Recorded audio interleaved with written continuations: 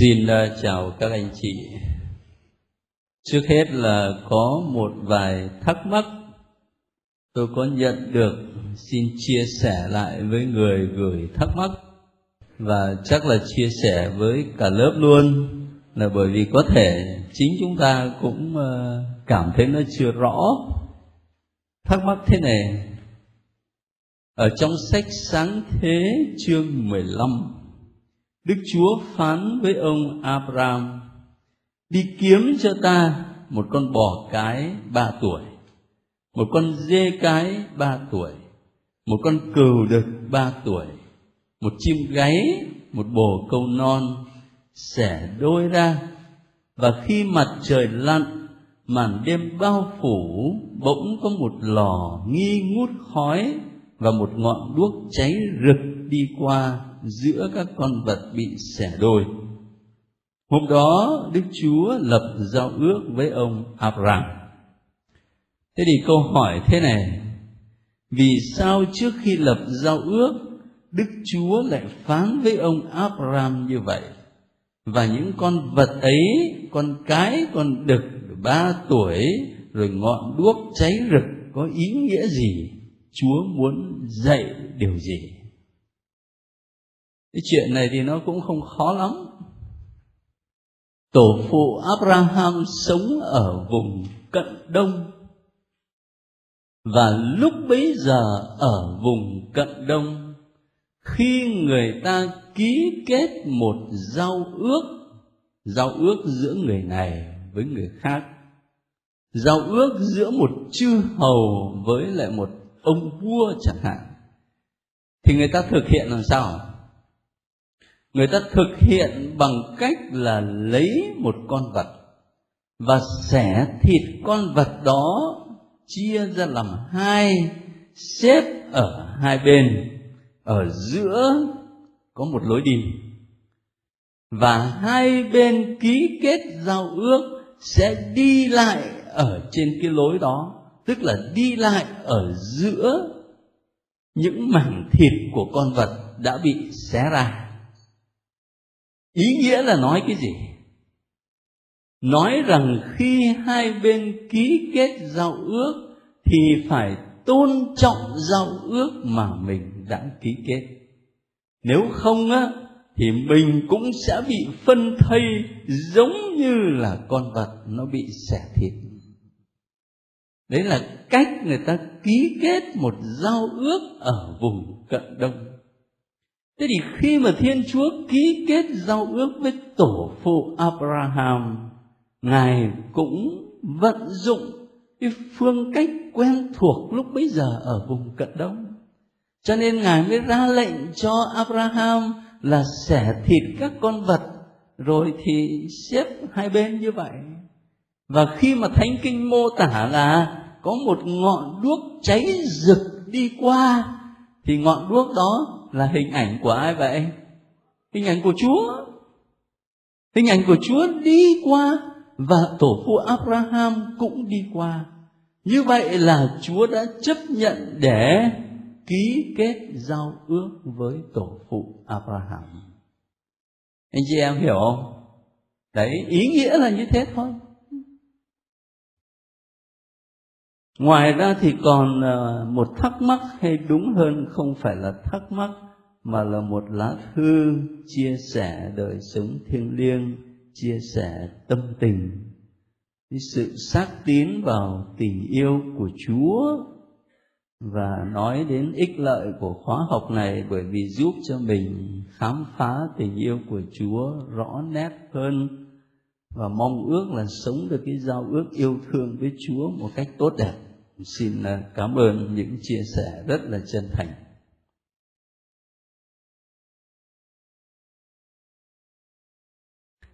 Thế tuần vừa rồi là chúng ta đọc sách sáng thế từ chương 25 đến chương 36. Trước khi đi vào phần này, tôi nhắc lại cho các anh chị nhớ sách sáng thế có hai phần chính Phần thứ nhất là từ chương 1 đến chương 11. 11 chương đầu đó rất quan trọng và nói đến những vấn đề mà chúng ta lập đi lập lại mấy lần, tức là những vấn đề vượt thời gian, vượt trên lịch sử loài người nói đến nguồn gốc của con người, nói đến tội lỗi xâm nhập trần gian và hậu quả mà tội lỗi mang lại những vấn đề vượt thời gian. Rồi bắt đầu từ chương 12 trở đi cho đến chương 50 tức là hết sách sáng thế đó, thì ta sẽ nói đến các tổ phụ. Đầu tiên là tổ phụ Abraham. Sau tổ phụ Abraham thì đến Isaac. Và sau Isaac thì đến Jacob tức là phần hôm nay mà chúng ta chia sẻ và bây giờ tập trung lại ở đây để có một cái nhìn tổng quát. Thế bây giờ xin các anh chị theo dõi ở trong bảng văn mà tôi đã gửi cho mỗi một người. Bởi vì chúng ta đọc một lúc tới 11 chương sách. Tôi sợ là các anh chị lại quên hết. Cho nên trước hết là một cái nhìn tổng quát nhìn lại xem 11 chương sách đó thì mình đọc về cái gì ở chương 25 từ câu 19 đến câu 26 nói đến việc sinh hạ Esau và Jacob. Ai sinh hạ vậy? Rebecca. Thế phía đàn ông là ai vậy? Isaac. Tôi có một cái ghi chú nhỏ ở đây là tên Jacob á. Đó là thể rút vắn của một tên gọi dài hơn là Jacobel. Có nghĩa trong tiếng Việt Nam đó là xin Thiên Chúa che chở. Ở trong gốc tiếng Hebrew đó, mà lúc nào nó kết bằng L là E L đó thì là chúng ta hiểu có ý nói về Thiên Chúa. Ở đây có nghĩa là xin thiên chúa che chở. Cái tên rất là hay. Rồi cũng ở trong chương 25 nhưng mà những câu kế tiếp từ 27 đến 34 đó, thì kể một câu chuyện mà ta đọc nghe có vẻ hơi buồn cười đó là cái ông ê rau này, không biết ông ấy tham ăn, tham uống thế nào mà ông bán luôn cả quyền trưởng nam cho ông em. Đâm ra cái ông gia cóp, ông ấy là em thì ông ấy lại được hưởng quyền trưởng nam. Được có mỗi bát cháo, mất cả quyền trưởng nam. Nhưng mà ngồi ngẫm nghĩ lại thì biết đâu có lắm lúc các anh chị và tôi cũng chỉ vì một cái lợi nhỏ nhoi mà không chừng mất linh hồn. Nhé, dám lắm. Đang khi chúa bảo là được lời lãi cả thế gian nó mất linh hồn thì được ích gì? Mà nhiều khi mình chỉ vì một món lợi rất nhỏ thế mà mất cả linh hồn. Juda thì cũng được có mỗi 30 đồng thôi. Mà cuối cùng thì cũng có được xài đâu nó quăng trả lại cho người ta để đi tự tử. Cho nên không chỉ có ê rau nhá chính chúng ta nhiều khi cũng ngớ ngẩn lắm. Bán luôn cái, cái, cái quyền làm con thiên chúa cho ma quỷ. Rồi kế tiếp sang chương 26 thì có những mẩu chuyện về Gia Cóp. Rồi sang đến chương 27 đó thì lại một cái câu chuyện khác cho thấy cái ông Gia Cóp này, ông láu cá. Tức là chúc lành mà cha già để lại cho người con lớn thì ông em ông hưởng hết. Các anh chị biết là thuở xưa đó, thời các tổ phụ, cái việc mà chúc phúc lành là quan trọng lắm. Và khi chúc lành đã được ban thì không thể rút lại cho nên cái lời chúc lành của tổ phụ Isaac trước khi mà Ngài qua đời cho người con mà Ngài nhắm lại rau. Ngài nhắm rõ ràng như vậy. Thế mà ông gia con thì ông ấy toa rập với lại bà mẹ. Ông ấy chiếm luôn cái chúc lành. Bao nhiêu ân phúc là ông hưởng hết. Lát nữa thì chúng ta nhắc lại cái chuyện đó để mình đặt một vài câu hỏi mà suy nghĩ tiếp theo đó cũng ở trong chương 27 nhưng mà phần cuối và sang đầu chương 28 thì nói đến chuyện là Jacob ra đi tìm vợ. Và ở trong chương 28 có một sự kiện quan trọng, đó là giấc mơ của Jacob tại Bethel. Hình như cuốn thánh kinh mà các anh chị dùng đó thì người ta phiên âm ra tiếng Việt Nam là bết êm phải không? Tôi thì tôi cứ quen đọc cũ như thế này. Giấc mơ của Jacob tại Bethel trong cái giấc mơ đó, Jacob thấy điều gì? Thấy một cái thang nối trời và đất. Và đồng thời nghe thiên chúa lập lại những lời hứa mà ngài đã hứa với tổ phụ abraham và isaac. Một lát nữa chúng ta có giờ phân tích cái chỗ đó một chút. Tôi chỉ muốn ghi nhận ở đây này là các anh chị nhớ dùng tôi cái từ beten dĩ nhiên là các anh chị nhớ cái từ jerusalem rồi, nhưng mà nhớ luôn cái từ beten mai mốt ta học sách sử ký đó là mình sẽ thấy khi đất nước Israel bị chia cắt làm đôi hai miền Nam Bắc giống như Việt Nam trước đây. Thế thì ở phía bên miền Bắc đó, ông vua ông ấy sợ dân chúng là cứ đi lên Jerusalem mà Jerusalem thì ở miền Nam. Ông ấy sợ rằng cứ đi như vậy thì dần dần là dân chúng thuộc về ông vua miền Nam thế cho nên ông ấy quyết định, ông ấy lập một đền thờ ở Bethel để khuyến khích người ta là không cần đi Jerusalem nữa, mà chỉ cần đến Bethel thôi, thờ phượng Chúa là được rồi. Và khi ta đọc đến cái câu chuyện đó đó, thì vui lòng nhớ lại cái tên gọi Bethel này, để thấy là đã được bắt rễ, bắt nguồn từ tổ phụ Gia Cốp sang đến chương 29 đó, thì kể chuyện Jacob đến Haran, tức là đến nhà của ông Laban. Và cũng trong chương 29 nói đến cuộc hôn nhân của Jacob. Một lúc ông ấy lấy được hai bà. Thế lý do là ông ấy nhắm cô em cơ cô Rachel cơ và vì cô em đó, ông ấy mê mẩn, ông ấy chấp nhận, ông ấy làm công 7 năm.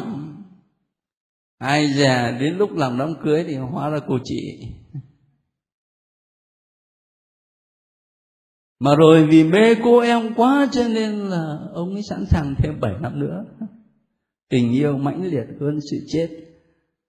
14 năm ăn thua gì nhỉ? Mãnh liệt hơn sự chết cơ mà thế là Jacob là lấy được hai bà vợ, hai chị em, con của Laban.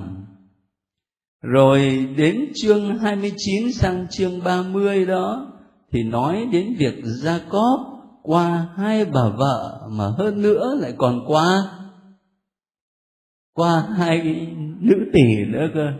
Ông ấy sinh ra được những người con tôi chỉ xin các anh chị quan tâm cái này bởi vì nó sẽ nối tiếp câu chuyện của tổ phụ Jacob. Tức là hai người vợ Lea và Rachel thì bà Lea đó, Chúa cho bà ấy sinh sản rất là tốt. Nhưng mà bà Rachel thì hiếm muộn.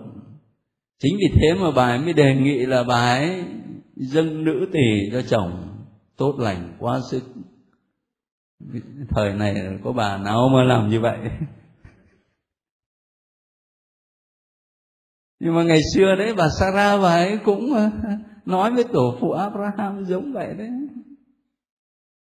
Thế nhưng mà cuối cùng thì Chúa lại cho bà ra khen, bà ấy sinh con. Và rất đặc biệt là bà ấy sinh ai vậy? Du xe nhớ dùm nhá. Nhân vật quan trọng sinh du xe rồi thì đến cuối đời bái sinh một lần nữa trước khi chết. Ai vậy? Benjamin. Khi ta nhớ hai nhân vật này, thì đọc cái câu chuyện sự tích của du xe đó, ta sẽ rất dễ hiểu. Thấy nó rõ ràng hơn. Cho nên ghi nhớ dùm chuyện đó rồi chương 30 thì nói đến việc là Gia Cóp càng ngày càng trở nên giàu có nhưng mà cũng chính vì thế mà nó nảy sinh ra sự ganh tị trong gia đình của ông La Bàn. Thành thở ra sang chương 31 đó, thì ông ấy chuẩn bị để rời gia đình của La bàn và cuối cùng thì là bỏ trốn. Bỏ trốn thế nhưng mà ông La Ban ông ấy đuổi theo và hai bên kết ước với nhau vui vẻ. Sang chương 32 tức là lúc bấy giờ đã rời gia đình của La Ban và trở về quê hương của mình, thì Gia Cóp chuẩn bị gặp Esau. Có lẽ chúng ta hiểu được tâm trạng của Gia Cóp là một người em mà chiếm quyền trưởng nam của anh, là một người em mà chiếm chúc lành cha chính ra để cho anh cho nên ông ấy trở về quê hương mà trong lòng ông ấy nơm nớp, lo sợ anh thử ra ông ấy cầu xin với chúa rất là tha thiết để xin chúa che chở, giữ gìn, nâng đỡ ông và trước khi mà gặp Esau đó thì có một đoạn văn rất quan trọng mô tả cái cuộc vật lộn của Gia Cóp với Thiên Chúa. Mà từ cuộc vật lộn đó Gia Cóp được đổi tên thành Israel. Từ đó, dân tộc được gọi là dân Israel, với 12 người con của Gia-cóp đứng đầu 12 chi tộc. Học lịch sử cứu độ, những cái chuyện nó rất là mấu chốt như vậy thì phải nhớ. Không có cách nào khác cả. Sau cái câu chuyện về Gia Cóp vật lộn với Thiên Chúa rồi thì ở chương 33 kể về cuộc gặp gỡ giữa Gia Cóp và ê dò Một cuộc gặp gỡ hết sức tốt đẹp, ngoài sức tưởng tượng của Gia Cóp. Không phải như ông ấy sợ hãi và chứng tỏ ở đây đó là Chúa chúc lành cho ông ấy. Sang đến chương 34 có một câu chuyện buồn. Đó là cô con gái của Jacob tên là Dina Bị cưỡng hiếp. Thế nhưng mà từ cái câu chuyện này thì dẫn đến một kết quả làm sao? Các anh chị còn nhớ không? Cái anh thanh niên ấy mà cưỡng hiếp cô Dina này này Anh ấy có yêu thương cô con gái này thật lòng không? Có đấy. Anh ấy muốn cưới làm vợ nói với bố đến gặp gỡ gia đình gia cóp để xin cưới ông hoàng tử tế. Rồi phía bên gia đình gia cóp thì đưa điều kiện làm sao? Là phải chịu phép cắt bì. Và khi nói đến cắt bì đó thì nhớ lại dùng coi thời tổ phụ Abraham, cắt bì có ý nghĩa gì? Cắt bì là dấu hiệu chứng tỏ rằng người đó thuộc dân của Chúa, phải không? Thế cho nên bây giờ cái gia đình này ta cứ gọi là dân ngoại đi. Bây giờ nhân cái việc kết hôn với lại Dina này, họ chấp nhận chịu phép cắt bỉ. Họ gia nhập dân của Chúa. Câu chuyện xem ra có vẻ nhỏ đấy nhưng mà nếu mình có giờ đấy mình suy nghĩ cũng có thể nói đến chuyện hôn nhân khác đạo ngày hôm nay đấy. có điều là khi mình sống hôn nhân khác đạo đó, mình có ý thức cái trách nhiệm của mình là phải truyền giáo cho người bạn đời của mình không? Làm chứng về chúa cho người bạn đời của mình, cho con cái của mình không? Hay là mình sống hôn nhân khác đạo rồi cuối cùng rồi mình cũng mất luôn? Đấy là điều quan trọng. Và chương 35 nói đến cuối đời của tổ phụ Gia Cóp rồi sang chương 36 thì là gia phả của Esau. Đấy trước hết tôi muốn các anh chị có một cái nhìn tổng quát. Những điểm mà tôi cứ thứ tự gợi ra thế này có thể nó không giống những cái đề mục ở trong cuốn thánh kinh của các anh chị đâu bởi vì những đề mục ở trong sách thánh kinh đó, thì mỗi một câu chuyện nhỏ đều có một đề mục, cho nên rất là nhiều còn ở đây là tôi tóm lại, đâu là những điểm chính yếu nhất trong 11 chương về tổ phụ Gia Cóp mà chúng ta đọc trong tuần vừa rồi để mình dễ nắm bắt.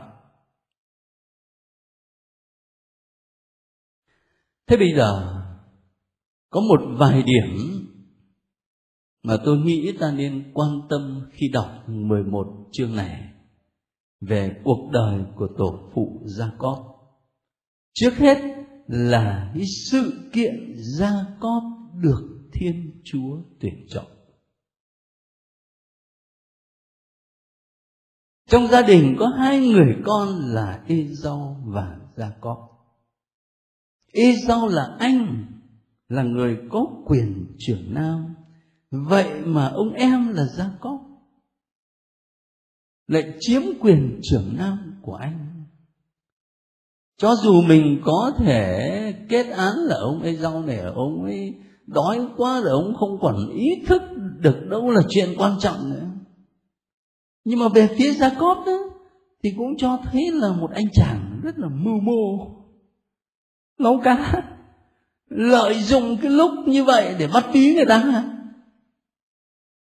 chứ còn giá mà một người đàng hoàng ra thì cũng đâu đến nỗi mà lấy bắt cháu để đòi anh chuộc cả quyền trưởng nam như vậy.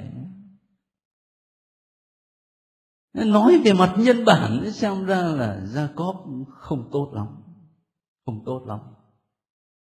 Rồi lại thêm một câu chuyện nữa mà lúc nãy chúng ta nói, đó là gia cóp âm mưu để chiếm chúc lành của cha mà khi ta mở chương 27 ra cho nó chi tiết đó, thì mình thấy rõ ràng là một cái âm mưu không chạy tội đi đâu được. Ở chương 27 kể rất chi tiết là ông Isaac đã già mắt lòa không trông thấy gì. Ông gọi Esau là con trai lớn và nói với con thế này cha già rồi, không biết chết ngày nào. Bây giờ con hãy lấy khí giới của con, ống tên và cây cung của con ra đồng săn thú cho cha.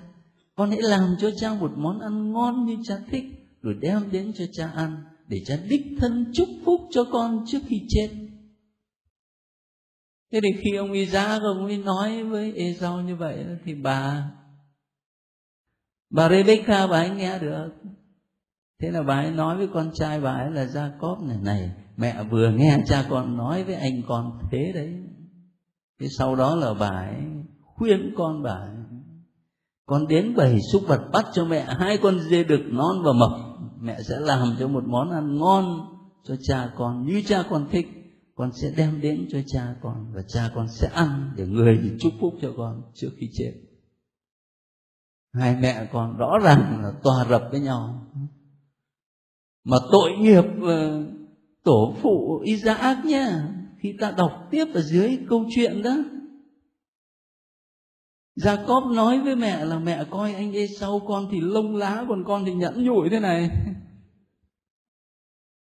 Biết đâu cha con sẽ rờ, con con sẽ bị cha coi như một tên lừa gạt và sẽ phải chuốc lấy lời nguyền rủa thay vì được chúc phúc mẹ cậu bảo là, con ơi, nếu con bị nguyền rủa thì mẹ sẽ gánh cho, cứ nghe lời mẹ mà đi bắt dê về đây.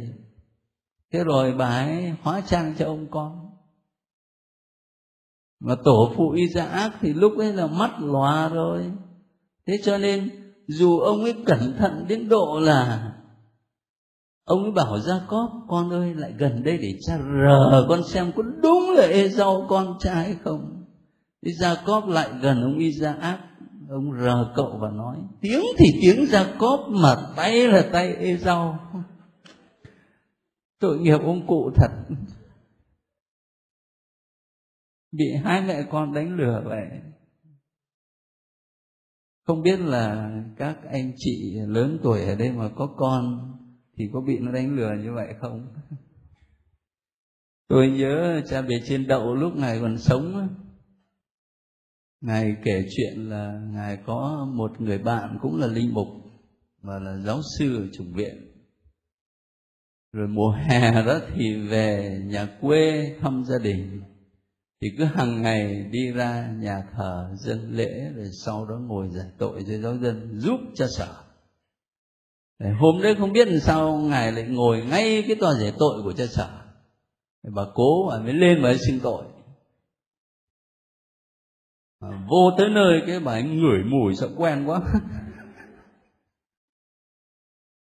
Bà ấy đi ra không xin tội nữa.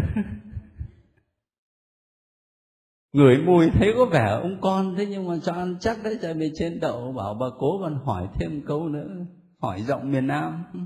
Máy trong máy. Không thể nói năng gì cái bà cố đi nước một ông cha con tức quá, ông đứng lên, ông ngoái đầu ra, ông nói, má má không có đức tin gì hết à. Mà cô quay lại, không có đức tin mà đẻ lên mục cái đó còn đã nữa.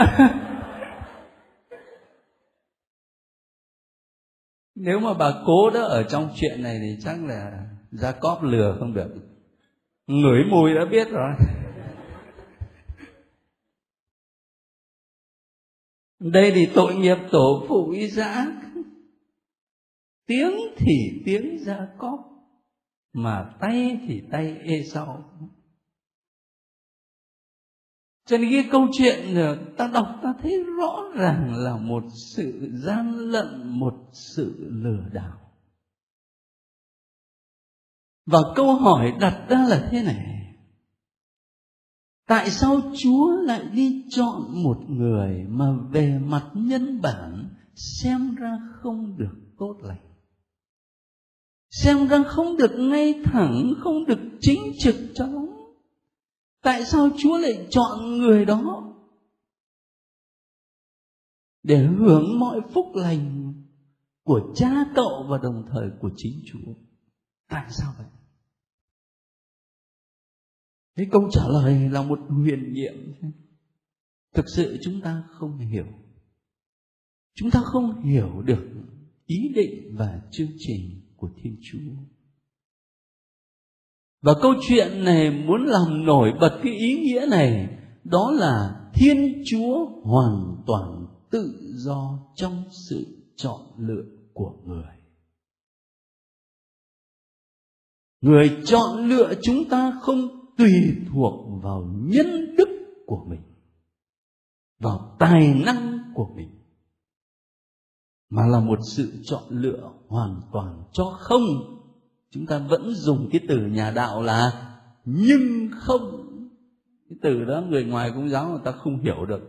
Làm sao nhưng mà lại còn không nữa? Nhưng mà nghĩa chính của nó là cho không giống như trong một cái bài hát nào đó l'amour c'est pour rien tu ne peux pas le vendre l'amour c'est pour rien tu ne peux l'acheter tình cho không biếu không? Anh không thể bán được tình yêu và anh cũng không thể mua được tình yêu. Đấy. Cho không? Làm nổi bật lên cái tình yêu cho không của thiên chúa tôi nhớ trong cuốn sách mà đức giáo hoàng John Paulo đệ nhị vào thời điểm kỷ niệm 50 năm ngài chịu chức linh mục, ngài viết cái cuốn sách về ơn gọi linh mục của ngài. Tựa đề là ơn ban và huyền nhiệm. Trong đó có một câu ngài viết rằng, ở cội nguồn sâu xa nhất của mọi ơn gọi linh mục là một huyền nhiệm mình không hiểu được bằng những lý luận tự nhiên của con người. Cho nên có thể trong một lớp đó là có nhiều anh em chủng sinh giỏi lắm mà đạo đức nữa, nhưng mà không biết sao rồi cuối cùng lại ra hết và có thể chúa chọn một anh không có thông minh lắm và cũng không đạo đức lắm để làm linh mục nó không tùy thuộc vào cái tính toán tự nhiên của chúng ta. Tôi cứ nhớ mãi cái câu đó. Ở cội nguồn của mọi ơn gọi linh mục là một huyền diệu. Và hồi Đức Hồng Y của chúng ta từ Mỹ Tho mà được Tòa Thánh bổ nhiệm về làm Tổng Giám mục Giáo phận Sài Gòn ấy, thì lúc đấy tôi nhớ là tôi đang đi giảng tĩnh tâm cho một nhà dòng ở thủ đức thì nhận được cái thư ngài gửi. Hóa ra trong đó có một bài thơ bằng tiếng pháp, và ngài đề nghị là dịch ra tiếng việt đi. Để cái dịp mà ngài về nhậm chức đó thì có thể là chia sẻ với anh chị em, giáo dân. Chắc là một số anh chị cũng có biết cái bài thơ đó huyền nhiệm ơn gọi. Tôi không còn nhớ nguyên văn nhưng mà đại khái là như thế này này. Khi chúa muốn chọn cho dân chúa một người cha, thì chúa lại đi chọn một ông già là abraham. Chúa muốn xây hội thánh chúa trên một tảng đá, thì chúa lại chọn một anh chối chúa ba lần. Đó là ông thánh phêrô. Chúa muốn chọn một người đi giảng tin mừng cho dân ngoại, thì Chúa lại chọn một cái anh đã từng bắt bớ hội thánh Chúa, đó là thánh Phaolô. Chúa muốn chọn một người đi làm chứng cho tình yêu của Chúa, thì Chúa lại chọn một cô gái điếm là Maria Magdalena. Thế là toàn cái chuyện ngược đời. Toàn chuyện ngược đời trong lịch sử cứu độ ở đấy cho thấy được cái sự chọn lựa của thiên chúa là một sự chọn lựa hoàn toàn tự do. Một sự chọn lựa phát xuất từ tình yêu nhưng không.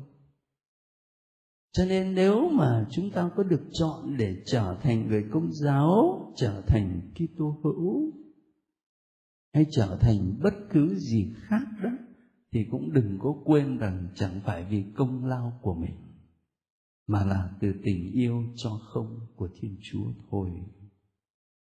Và đồng thời cũng ý thức thêm điều này nữa, là thiên chúa can thiệp trong đời sống mỗi một người chúng ta, cũng như trong lịch sử nhân loại một cách rất là huyền nhiệm mà các anh chị và tôi không biết được. Ta cứ nhìn vào lịch sử thế giới, ta sẽ thấy nó có những biến cố xảy ra mà thực sự nó vượt lên trên mọi sức tưởng tượng của con người. Không ai nghĩ rằng nó xảy ra như vậy. Rồi trong cuộc đời của mỗi chúng ta cũng vậy. Nó có những biến cố mà mình không lý giải được. Cho nên một trong những phương pháp ờ, cầu nguyện đó mà tôi thấy rất tốt người ta gọi đó là cầu nguyện bằng cách hồi tưởng, nhìn lại cuộc đời mình để khám phá ra sự hiện diện yêu thương của chúa trong cuộc đời mình. Và khi hồi tưởng lại thì có nhiều điều để hồi tưởng. Nhưng mà một trong những điều đó là ta có thể nhớ lại trong đời mình một biến cố nào đó mà qua đó, mình cảm nhận một cách rất là rõ ràng cái sự hiện diện yêu thương của Chúa. Chẳng hạn như trong một cuốn sách ờ, một linh mục, giáo sư thần học nổi tiếng, mà ông kể lại một cái câu chuyện rất đơn sơ thế này. Lúc còn nhỏ bây giờ là sau đệ nhị thế chiến ông ấy sống ở một vùng quê với gia đình. Rồi cũng như bao nhiêu trẻ em khác cơ, thì là cứ hàng ngày chạy ra ngoài cánh đồng chơi thôi. Và hôm đấy bà mẹ đang ở trong bếp thì thấy ông con trai ông chạy về rồi ông giáo giác ông tìm.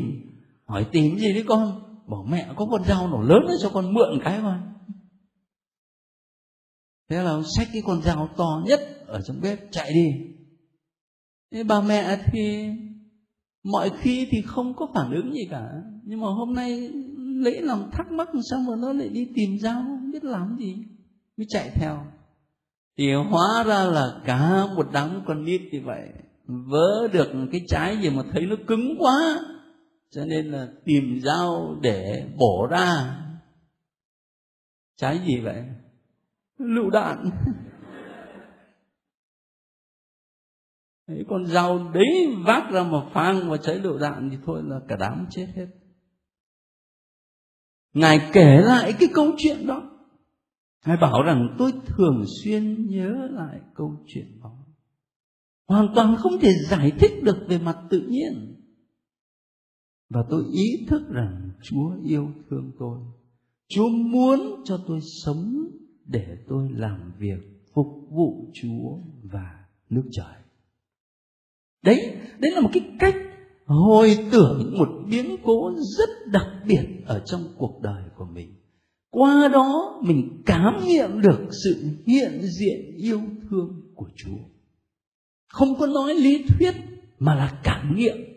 Cảm nghiệm bằng trái tim, cảm nghiệm bằng cuộc sống, cái sự hiện diện yêu thương của chúa trong cuộc đời của mình. Và khi mà mình xác tín là cuộc đời của mình ở trong sự quan phòng yêu thương của Chúa thì cảm thấy bình an lắm. Cảm thấy mừng vui, cảm thấy phấn khởi. Bởi vì mình biết là Chúa yêu thương mình, cho nên trong mọi sự mình tin tưởng mình phó thác ở nơi Chúa. Đấy cái bài học mà tôi muốn chia sẻ với các anh chị ở trong cái câu chuyện đứng về mặt nhân loại, xem đang có vẻ khó chấp nhận. Đó là một người như Jacob, mưu mô, lấu cá, tính toán mà lại được Chúa chọn. Qua đó ta có thể suy nghĩ về đời sống của mình, về ơn gọi Kitô hữu của mình. Một điểm lớn thứ hai,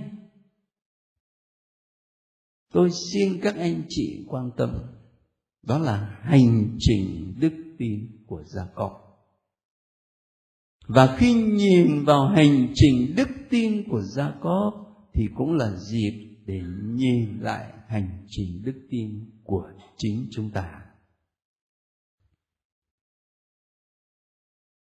Khi ta nhìn vào hành trình đức tin của tổ phụ gia cốp ta sẽ thấy cái hành trình đó khởi đi từ Beten lúc nãy nói rồi. Đó là trong một thị kiến thì Jacob thấy một cái thang nối trời và đất.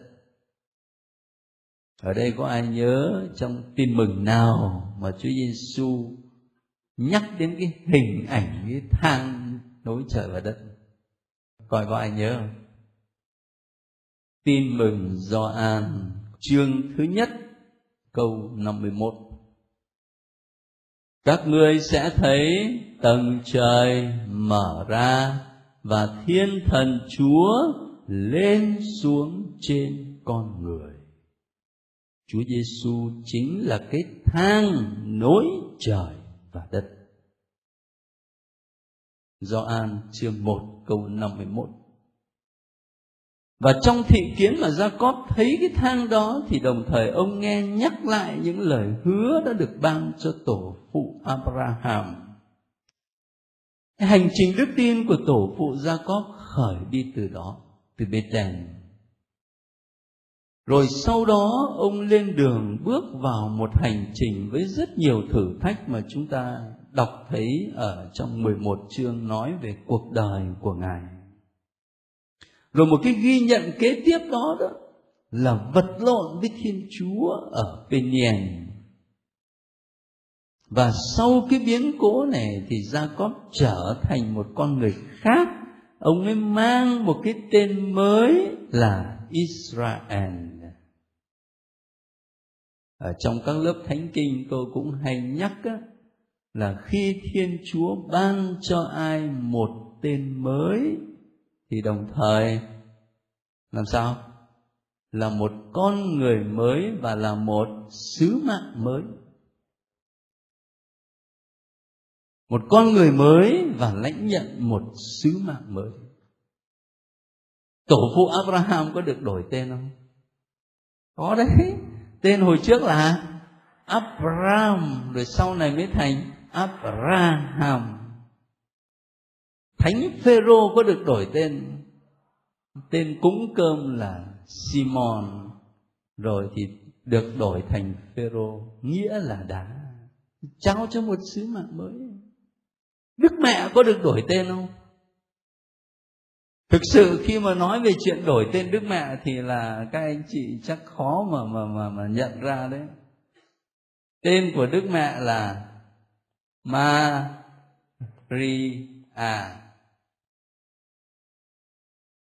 Khi thiên sứ hiện đến, truyền tin cho đức mẹ.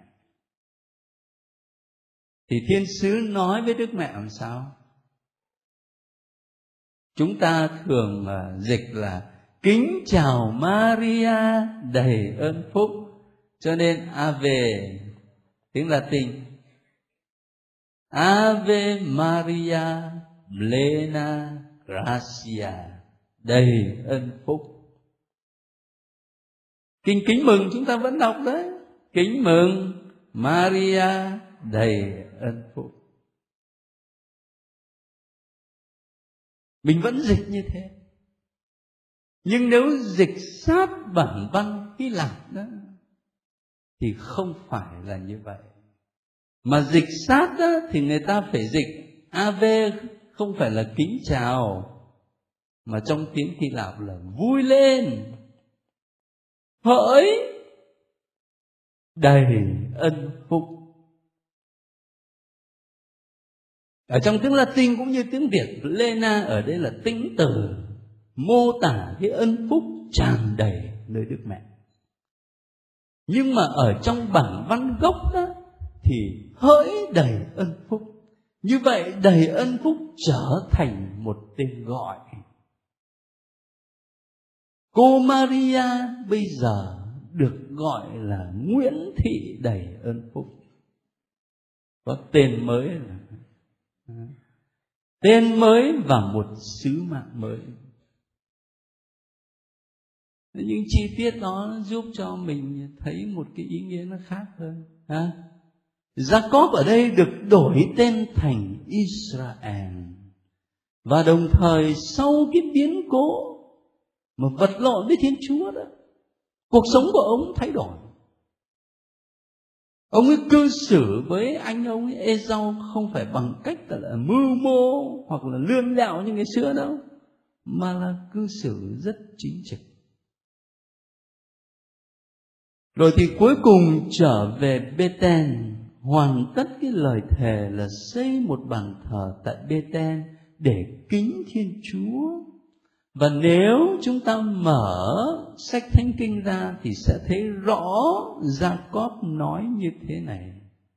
Mục đích á, xây bàn thờ để kính thiên chúa là đấng đã đáp lời tôi ngày tôi gặp bước gian chuyên và đã ở với tôi trong chuyến đi tôi đã thực hiện. Bây giờ mới là cái lúc ông ấy thực sự là ông ấy cảm nghiệm thiên chúa có mặt ở trong đời mình. Trước kia đó, đức chúa ở đây mà tôi không biết. Còn bây giờ đó, sau một cuộc đời với bao nhiêu sóng gió, bao nhiêu đau khổ, nhưng mà đồng thời cũng có bao nhiêu hạnh phúc và an ủi, mới cảm nghiệm rõ ràng là chúa ở với tôi. Chúa đáp lời tôi khi tôi gặp bước gian truân Chúa ở với tôi trong chuyến đi tôi đã thực hiện hành trình đức tin của tổ phụ gia con Thế chính vì thế mà tôi mới đặt cái câu hỏi cho các anh chị là, Thế các anh chị suy nghĩ xem là hành trình đức tin của tổ phụ Gia Cóp có giống hành trình đức tin của bản thân mình không? Từ cái chỗ mà mình không có khám phá sự hiện diện của thiên chúa trong đời mình một cách rõ nét, cho đến chỗ mình càng ngày càng khám phá ra sự hiện diện và tình thương của chúa rõ nét hơn. Có giống không? Rồi chúng ta có thể học được điều gì khi mà chiêm ngắm cuộc đời của tổ phụ gia Thế là đặt câu hỏi để mỗi người có thể tiếp tục cầu nguyện, tiếp tục suy nghĩ riêng. Còn về phần tôi thì tôi có một vài gợi ý như thế này. khi ta nói đến hành trình đức tin của tổ phụ gia có thì đồng thời mình cũng ý thức về đời sống đức tin của mình trước hết đức tin là một hành trình nghĩa là làm sao nghĩa là một con đường mà tôi phải đi. Phải không? Một cái chuyển động, chứ không phải là một cái gì nó đứng yên như thế này. Đức tin không phải là một đồ vật giống như là chìa khóa tôi cầm ở trong tay một lần thế là ăn chắc. Không, đức tin không phải là một đồ vật như vậy. Mà đức tin là sự sống, là một chuyến đi, là một hành trình nhiều khi ta quên cái điều đấy. Quên cái điều đó. Thế cho nên là mình cứ tưởng là chịu phép rửa tội thế là xong, thế là đủ rồi. Mà không có đủ. Mình sống đức tin là phải đi cả cuộc đời, một hành trình dài. Mà điều này nghĩ cho cùng thì đâu có cái gì lạ đâu nó là một cái gì rất quen thuộc trong đời sống con người. Các anh chị có thấy ngay cái chuyện là mình làm người, sinh ra thì ai mà chả là người. Có mắt, có mũi, tay, chân, mạnh, khỏe. Rồi có khi cao lớn hơn người nữa. Sinh ra ai cũng là người nhưng mà không phải ai cũng làm người cho ra người, đúng không? Đấy. Không phải ai cũng làm người cho ra người. Thế cho nên mới có cái chuyện là nhiều khi trong khu xóm mà có một anh thanh niên đó, anh ấy ăn ở làm sao, anh ứng xử làm sao đó để người ta phải chép miệng, người ta bảo cái thằng này nó không còn tính người nữa. Và làm người là khó lắm khó đến độ mà nhiều khi làm quan thì dễ nhưng mà lại làm người không được. Làm quan thì được mà làm người thì không xong. Khó chứ không phải là dễ đâu. Chính vì vậy mà cái chuyện làm người nó là một hành trình. Mỗi một ngày trở thành người hơn. Rồi tôi nghĩ trong đời sống gia đình của các anh chị cũng vậy, mà đời sống linh mục của tôi cũng thế bố tôi là người ít học, nhưng mà tôi lại thấy là ông cụ có những lời khuyên cho con cái rất là đáng nhớ. Chẳng hạn tôi chịu chức linh mục thì cụ nói với tôi là, học để làm linh mục khó con ạ à. nhưng mà cũng không khó lắm. Sống cho ra linh mục mới khó. Thế tôi cứ nhớ hoài anh thử làm linh mục cũng là một hành trình. Mỗi một ngày phải trở thành linh mục đúng nghĩa hơn. Và tôi chắc là các anh các chị cũng mong như vậy thôi. Mong cho các linh mục mỗi một ngày là linh mục của chúa đúng nghĩa hơn. Thế thì đời sống đức tin của chúng ta tương tự như vậy. Không phải một lần là xong, mà là một hành trình dài. Mỗi một ngày trở nên môn đệ của Chúa Giêsu đúng nghĩa hơn.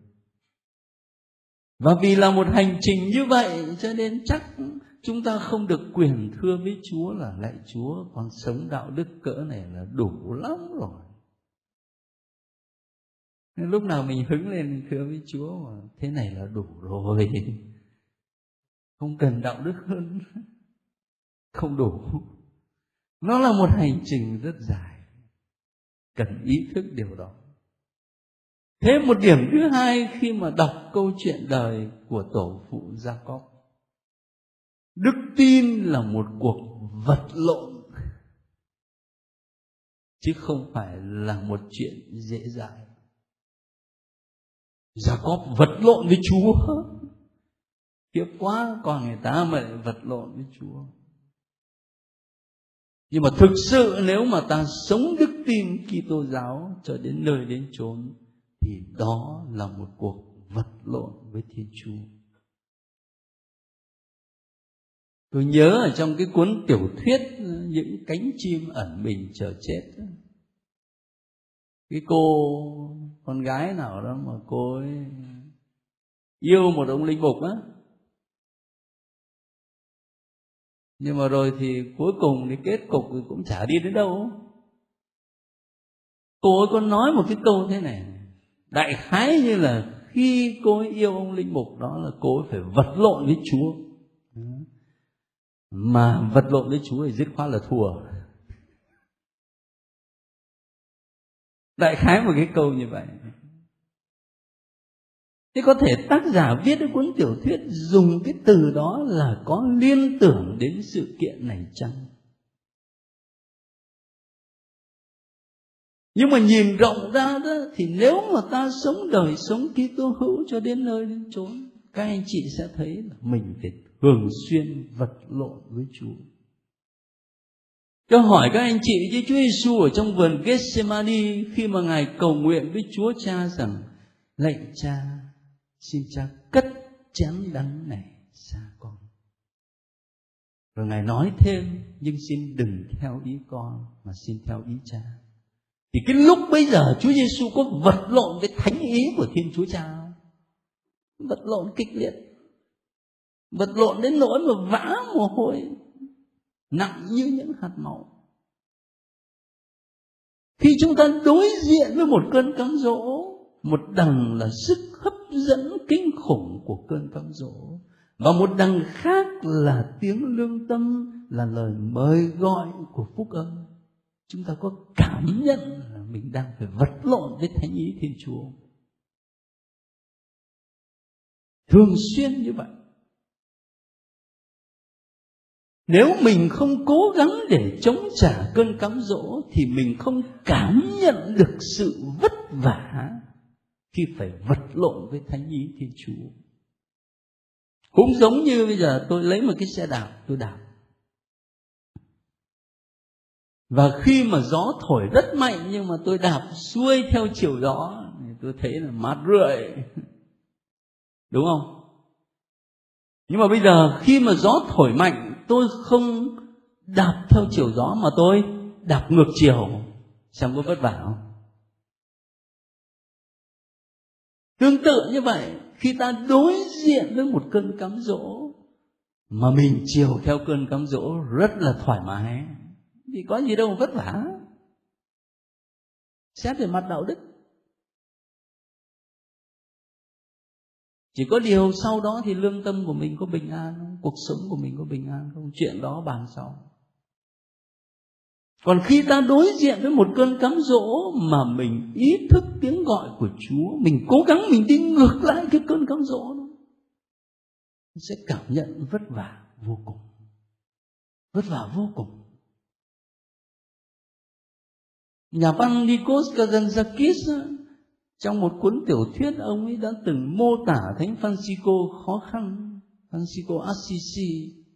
Một lần mà ngài chống trả cái cơn cám dỗ về xác thịt bằng cách là trời mùa đông mà ngài leo lên trên ngọn núi.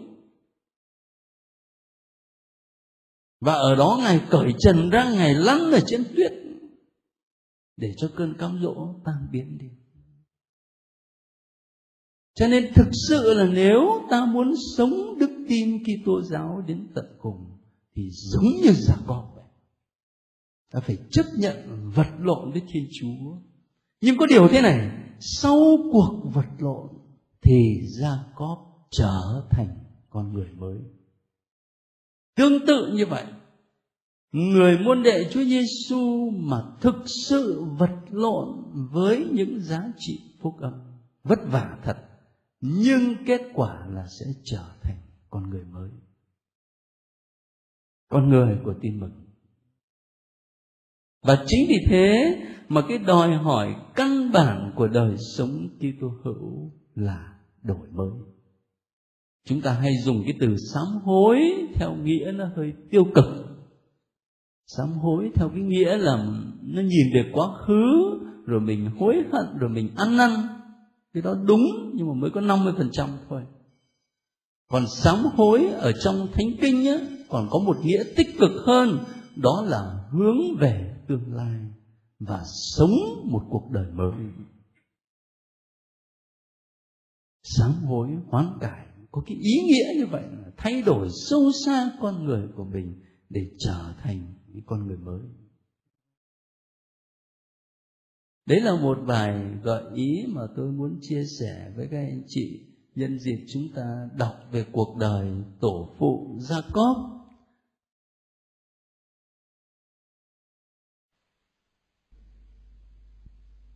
you